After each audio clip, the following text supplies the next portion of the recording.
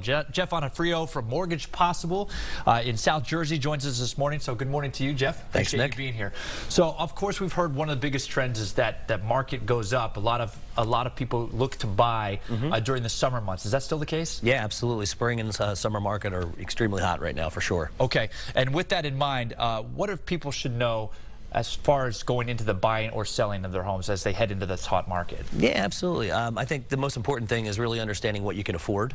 Uh, and affordability versus what you can get qualified for are two different things. A lot of people can get qualified for a lot more. Mm -hmm. uh, but ultimately, though, we want to make sure we're not getting ourselves uh, house poor.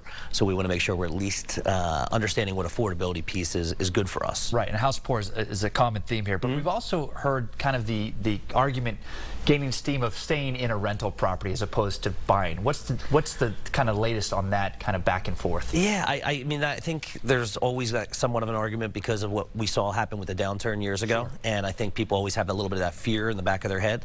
Uh, but ultimately, if you look at anything out there, you know, in today's world, that the people who make the most money as far as wealth creation is is is done using real estate.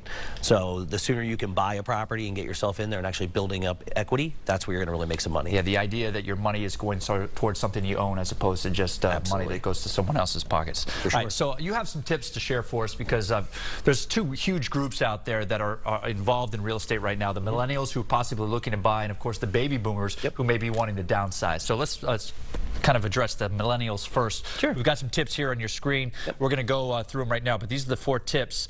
Uh, determine how much you can afford. Break that down for us. Yeah, really the most important thing is get pre-approved. You know, understand how much you can actually afford, and I like to back into it. Understand how much you're going to spend in taxes, insurance, and then from there, then start talking about what your payment's going to look like.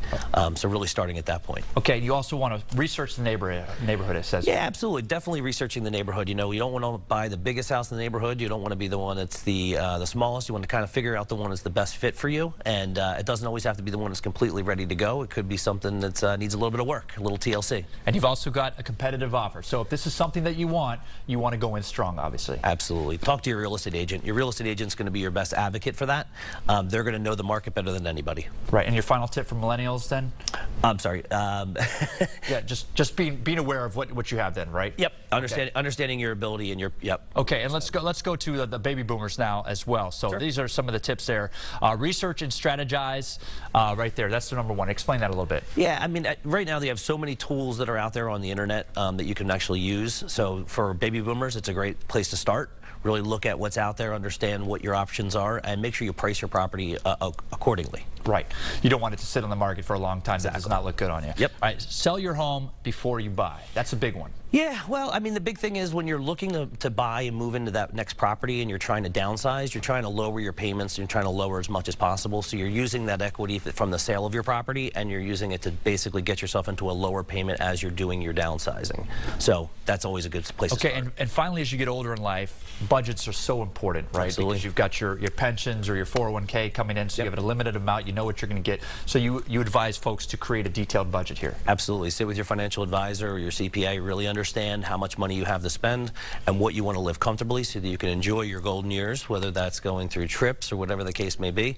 But take your time and actually build out that budget. Yeah, two two big moments. Uh, none, mm -hmm. Nothing to be afraid of, though, right? Wh whichever yep. end of the spectrum you're on, whether you're a baby boomer looking to sell or a millennial looking to buy, uh, it's something that you can approach as long as you have some information. Sure, absolutely, yeah. yeah. And work with the right professionals. It makes all the difference in the world. All right, and Jeff Onofrio is just that. So for more information, where can people go? Uh, you can go to mortgagepossible.com um, or you can find us uh, on Facebook. All right. Yep. Jeff Onofrio from mortgagepossible.com. Appreciate it. A lot of good tips there as we head into the hot months of the real estate market.